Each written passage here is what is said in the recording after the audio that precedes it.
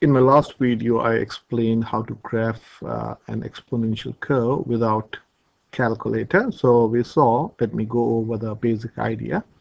So when you graph this, we saw these values from these positive values of x. We could say when x is approaching positive infinity, uh, even if you don't want to go to positive infinity, when x is approaching, say, even say 20 or 30, y will be approaching an astronomical figure. And that's why it's called a exponential curve. And specifically, it's also called a growth curve.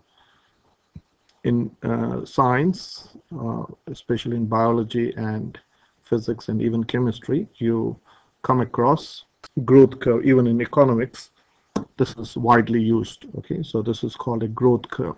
So when x is approaching, x is becoming bigger uh, positively, this y will be approaching infinity. And when you took the negative values, we saw that as x, x is approaching negative values or becoming smaller and smaller, less than zero, your y will be approaching zero. It will never become zero. And I told you this is an asymptote. So let us graphically understand this and see whether uh, how can we do this graph or how can we check our answer. So I have drawn the graph. So this is, so let me delete this. So let us take a scale from a standard scale of negative 10 to 10 on both the axes and then draw y a2 raised to x. Okay, just to see the graph. So can you see this graph and this graph? So let us find some values. So g solve. The first thing that I told you in the last video is your y-intercept is important. So you go y-intercept uh, is 0, 1. When x is 0, y is 1. So this is a, for any basic exponent, you change the value of 2 to 3. Suppose let me change that. Suppose if you have a positive number there, of course, suppose if you change that to 2 to the power 3, the shape of the curve is the same. Okay, and one common feature that you will find, the y-intercept is always 0, 1. I hope you understand why, because when you're raising uh, this by 0, any number raised to 0 is 1. So any exponential graph, positive, expo uh, if you have this number to be positive, irrespective of the number, it will be passing through 1. So let me give you one more example.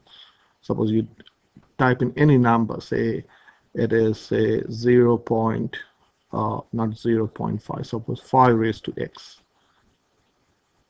Can you see the graph will, become steeper, but will always pass through 1.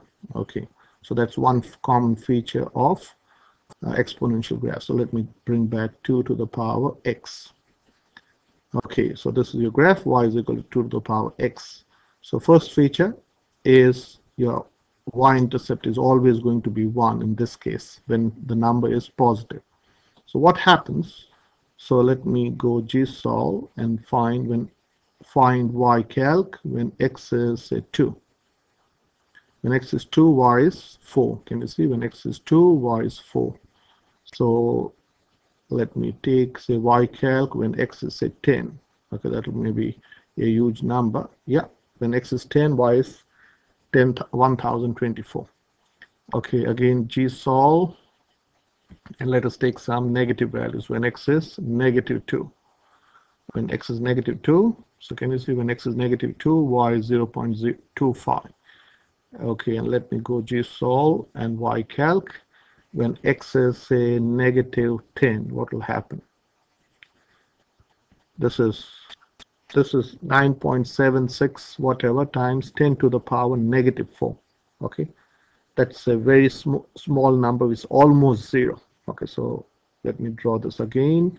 G solve and take say y calc when x is negative 5 this is 0.03125 in other words when x is approaching uh, negative values, your y will be approaching 0. This will never become 0, uh, but uh, this will be approaching 0 or your x-axis will become the asymptote. So along with this, so one other thing that you, I told you that if you put say 0 0.5 raised to x, sorry, 0 0.5 raised to x, what type of graph would you expect to uh, would, it be, would it be an exponential graph or a decay curve? I don't know, so let's draw it. So this is called a decay curve. But the main feature I want to explain here, this will also pass through 1. So if you go g solve and y-intercept, it's always pass, also passing through 1. So in other words, what I'm trying to explain is, if you have, say, 3 to the, let us draw both the graphs. So the first graph is, this is, this graph is y is equal to 0 0.5 to the power 5 to the 0 0.5 to the power x, which is a decay curve and this is 3 to the power x which is a growth curve so in other words when you have a decimal number between 0 and 1 yeah this will be a decay curve if it's between 0 and 1 this will be a decay curve and if it's a number if this number is a positive number greater than 1 then it will be a growth curve so let me draw one more decay curve so that you can see so let me do 0.25 to the power x. So these are both decay curves. Okay, this is 0. Point, the first graph is 0.5 and the second graph is 0.25. So draw it. So both the graphs. Okay, and what happens if it is 1? That's really interesting. 1 to the power x. Can you visualize 1 to the power? If when you raise 1 by any number, what will be the answer? 1 to the power 2 is 1 1 cube is 1 so this is very interesting so let me show you this So let me draw it so this is this line is 1 to, 1 to the power x okay so let me draw say 2 to the power x and 3 to the power x so you can see so these two graphs are decay curve. This is 1 to the power x and these two are growth curve. So in other words, when the number is between 0 and 1, it will become a decay curve. When it is 1, it becomes a line. And when it's a number greater than 1, it will become a growth curve.